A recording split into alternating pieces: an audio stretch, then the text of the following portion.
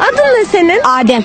Adem, orucunu açarken dua okuyor musun? Evet. Hangi duayı okuyorsun? Yemek duasını. Bize de okur musun? Okurum. Hadi oku. Elhamdülillahi Rabbil Alemin. Errahmanirrahim. Melik yevmiddin. İttina sıratel lezine nemden. Kul huvallahu ehad. Allahu salatu ve la ilahe illahu. Bu kadar. Salladığın gibi geldi. Hayır.